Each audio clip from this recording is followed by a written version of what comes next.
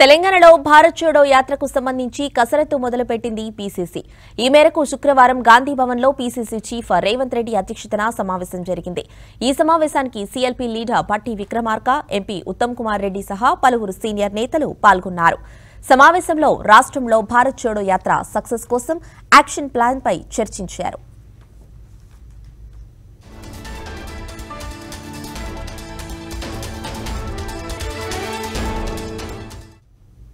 ఇక దేశంలో విద్వేష రాజకీయాలకు వ్యతిరేకంగా రాహుల్ గాంధీ చేపట్టిన భారత్ చోడో యాత్ర అక్టోబర్ ఇరవై నాలుగున తెలంగాణలో ప్రవేశించనుంది.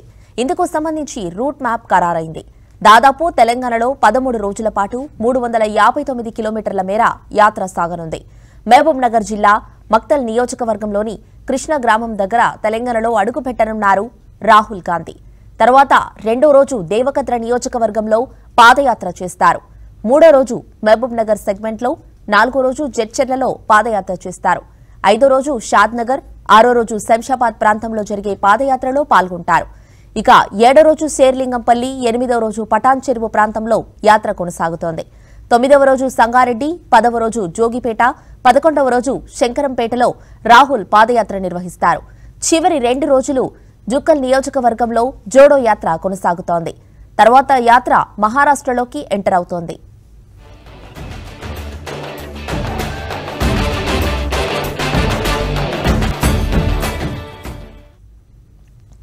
తెలంగాణలో భారత్ జోడో యాత్ర అనుమతి కోసం ఇవాళ డీజీపీని కలుస్తామన్నారు పీసీసీ చీఫ్ రేవంత్ రెడ్డి.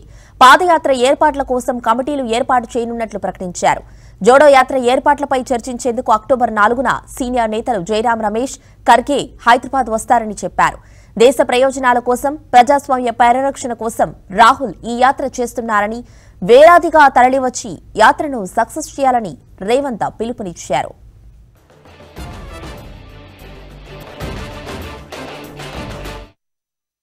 మొదలైన రాహుల్ గాంధీ గారి భారత్ జోడో యాత్ర సంబంధించి వారు ఈరోజు కర్ణాటకలోకి ప్రవేశించిండ్రు. మాకు అందుతున్న సమాచారం మేరకు అక్టోబర్ ఇరవై నాలుగు వరకు తెలంగాణ రాష్ట్రంలోకి వారు రావడానికి అవకాశం ఉంది.